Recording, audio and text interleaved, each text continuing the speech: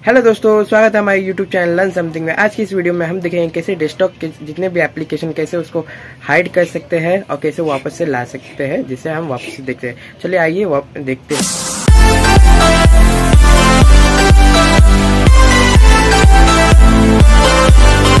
जैसा कि आप देख रहे हैं दोस्तों, हम अपने लैपटॉप पे आ गए हैं।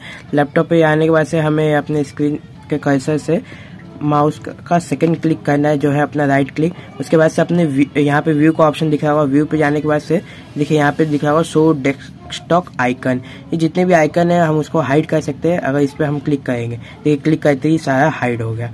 अब वापस से लाना है तो वापस से वही करना है। सेकेंड क्लिक करना है माउस का जो है अपना राइट क्लिक और उस पर से जाने के बाद से हमें व्यू पे आना है। देखिए व्यू दिख रहा है। व्यू पे आने के बाद से फिर से शो आइकन पे हमें क्लिक करेंगे जिसपे यहाँ पे एक टिक आ जाएगा। इससे अपना वापस से आइकन दिखने लग जाएगा।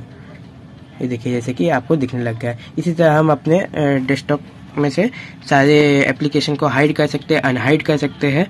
और अगर आपको किसी से ऐसे सेव करके रखना है तो आप ज़्यादा करके हाइड करके रखिए, ताकि आपके डॉक्यूमेंट्स को कुछ ना हो। इसी के साथ दोस्तों, मिलते हैं नेक्स्ट वीडियो में। अगर आप चैनल में फ़र्स्ट टाइम आए तो चैनल को सब्सक्राइब कीजिए लाइक कीजिए शेयर कीजिए कमेंट कीजिए। तब तक लिए मिलते हैं नेक्स्ट वीडियो में। Bye bye see you soon have a good day दोस्तों।